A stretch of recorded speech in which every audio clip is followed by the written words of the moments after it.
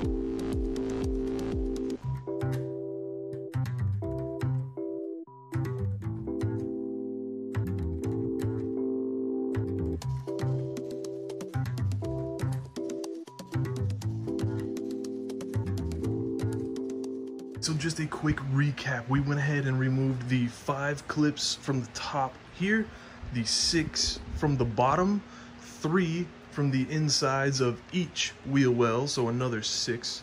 And then we got one bolt on the inside of that wheel well and one bolt on the inside of the engine bay here, another bolt there, and another bolt on the inside of that wheel well. So now the bumper is pretty much just hanging on there we can sort of start wiggling some of the areas like here and below the light off and we should be able to just remove it.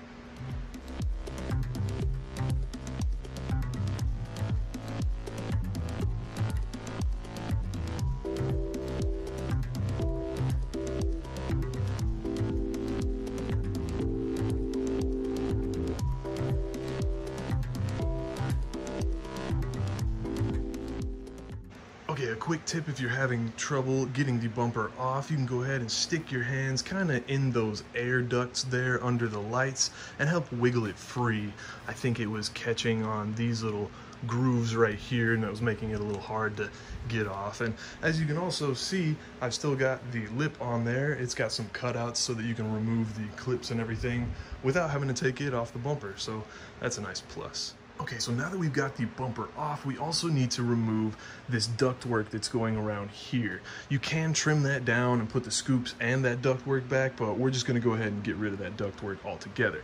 So we need to remove the two nuts that are at the top on each side, and then down here on the sides, kind of halfway down, there's a bolt on each side, one on that side too, and then underneath the uh, crash bar, bash bar, whatever you like to call that, there is another one right back in there.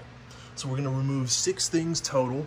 And then on the inside here, we need to remove these clips that are holding this wiring here.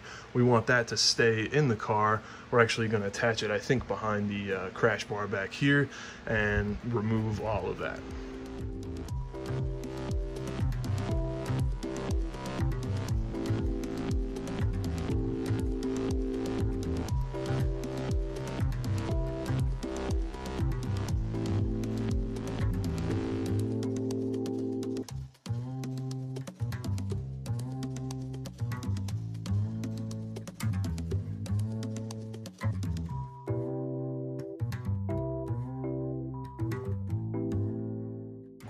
I forgot to mention that there are two clips on either side back in here that are holding the wiring in that you'll have to remove and then there's also one back here behind the sensor. So now that we've got that all loose in there, we need to go ahead and remove these two little air boxes and you can kind of see the workings of the air intakes here once you've got the bumper removed and it looks a little bit silly. So all your air is pretty much feeding in through that big snorkel there. And then up here these air ducts is where the air is filling into your air boxes for the intakes. So by putting these scoops in, we're going to be pushing air directly back through that line instead of trying to get it from underneath the top of the bumper here. To remove these air ducts, there's going to be another three bolts that we're going to take out. There's one right here on the top, about halfway down on the right side, there's one here, and then down at the bottom back in there, right there underneath. We're gonna take those three out on each one of them.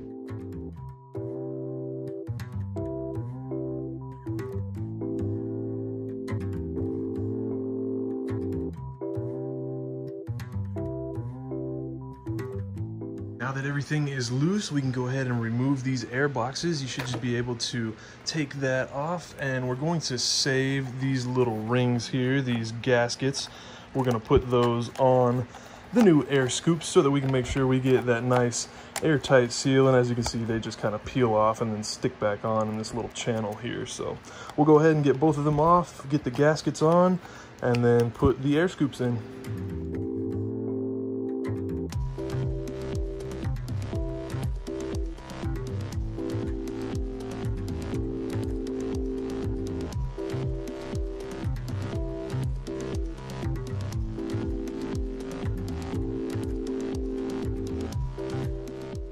Now that we've got the scoops installed and you're only going to use two of the bolts that you used to take off the old scoops to put those back on with, we're going to start working on the wiring.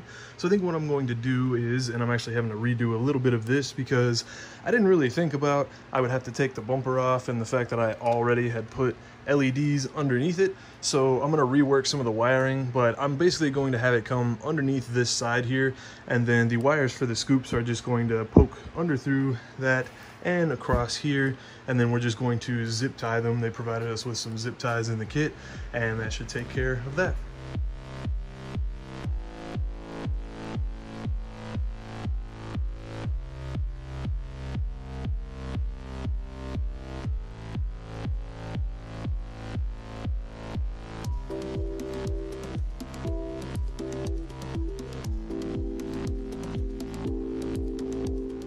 Alrighty, so now that we've got the wiring fed and we've made sure that the scoops are still working, we can go ahead and put our bumper back on.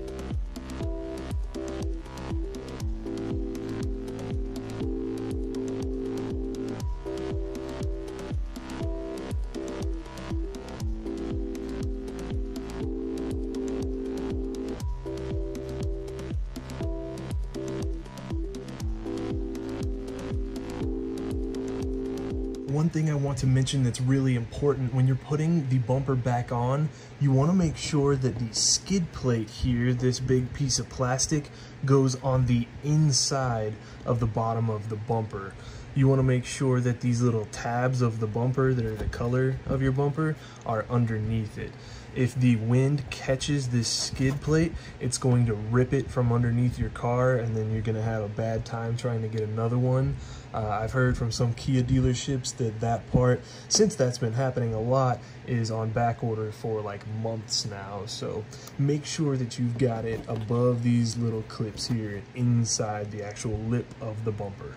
Alrighty, now that we've got the bumper back on there and we've got all of our wiring hidden, I went ahead and did the same thing like I did with the uh, LEDs that are in here. I just kind of went around the outside edges of the engine bay, used some double-sided adhesive to kind of hold the wiring up under these lips and under these little panels here. If I ever need to take the bumper back off, I'll just take that double-sided adhesive off and then put some more on. And of course, we will come back here in a little bit when it gets dark outside and see what these things really look like. And here's what they look like when it's dark outside. I've just got the garage light on behind me and these things are still super bright. Thank you guys so much for stopping by and checking out the video. If you have any questions about these scoops or the install, let me know in the comments. I'll be leaving links in the description down below for some of these snorkels. Now, they may not actually be these exact snorkels because this company doesn't make them anymore. They were bought out by another company, so I'll be leaving their link in the description.